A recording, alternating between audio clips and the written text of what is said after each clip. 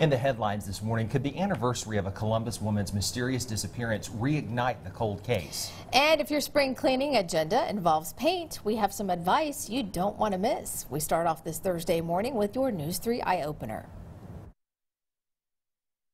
Go before the meeting.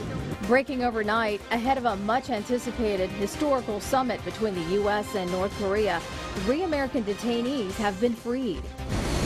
Today marks a grim anniversary in a missing persons case that's haunted Columbus for more than three decades.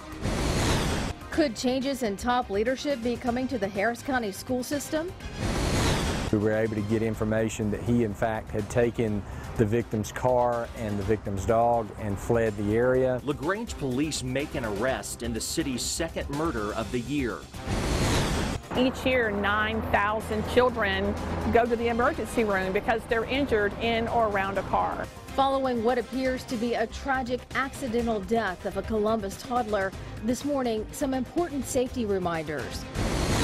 The main part about it is we send kids to camp with our proceeds. How one group is fishing with a purpose to make the lives of children more fulfilling.